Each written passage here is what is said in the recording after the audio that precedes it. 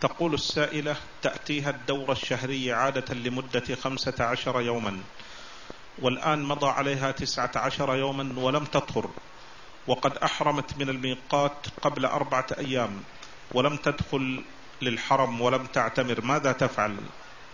أكثر مدة الحيض خمسة عشر يوم أقله يوما وليلة وأكثره خمسة عشر يوما وغالبه ستة أيام أو سبعة أيام.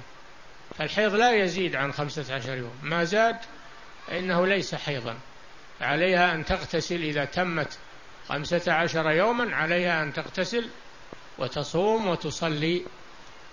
ولا بأس بالطواف إذا كان لا ينزل عليها وقت الطواف. فإن كان ينزل عليها انتقض وضوءها فلا بد من الوضوء مرة ثانية. نعم.